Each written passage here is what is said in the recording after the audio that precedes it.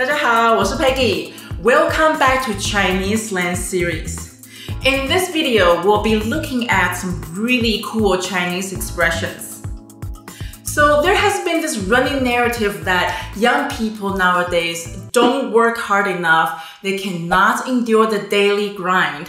They get hurt and bruised easily, just like 草莓,草莓 strawberries.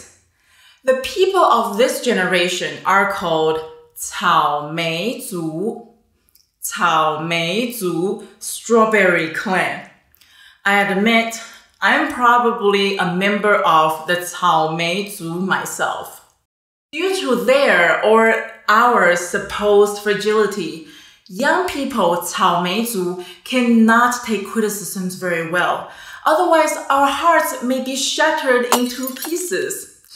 Thus that we say we have 玻璃心,玻璃心, glass heart, namely very breakable hearts.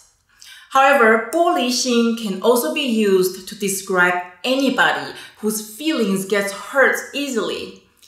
I definitely have a 玻璃心, so be kind with your comments on my videos. 我有玻璃心。 我有玻璃心。